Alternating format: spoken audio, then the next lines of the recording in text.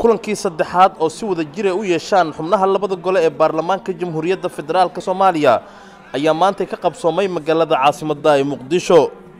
Waxaa goobjoog ahaa guddoonada labada aqal ee baarlamaanka kulanka maanta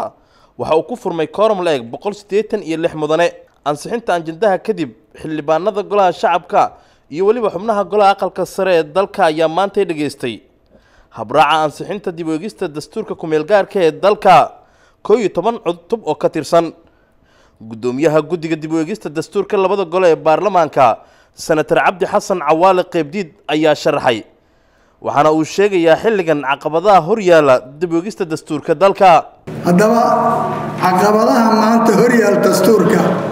waxaa ka mid ah oo ah baarlamaankan tobnaad horyaal waxaa ka mid ah kow isfaham la'aanta siyaasadeed ee ka dhaxaysa madaxda sare ee heer federaal iyo heer feer dowlad goboleed. Waa hal caqabad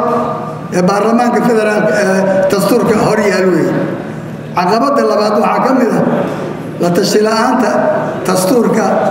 ee bulshadii soomaaliyeedoo la rabay in la wada gaarsiiyo. Caqabadda saddexaadna waxay noqonaysaa arrimaha maaliyadeed ee loo baahnaa in lagu gaarsiiyo dastuurku inuu ku howlgalo. Caqabadda afraad waxay tahay muddaxileedka baarlamaankan tobnaad u hartay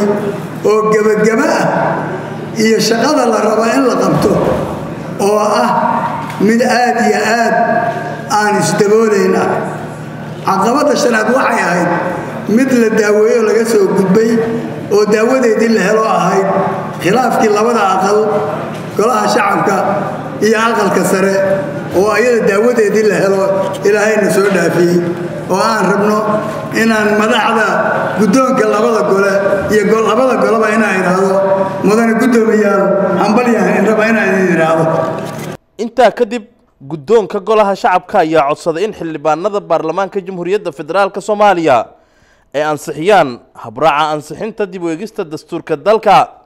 Waxaa si wada jira u oggolaaday xildhibaanadii fadhiyey kulankii maanta oo dhammaan boqol siddeetan iyo lix mudane. Ma jirto wax ka aamusay sidoo kale ma jirto wax diiday. Sida uu sharaxayo mar kale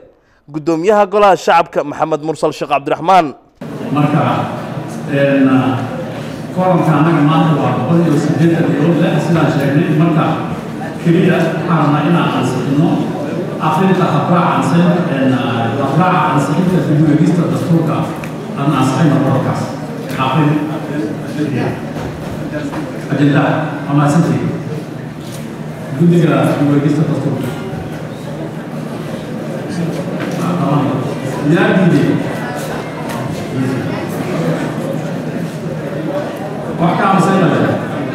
xildhibaanada baarlamaanka jamhuuriyadda federaalk soomaaliya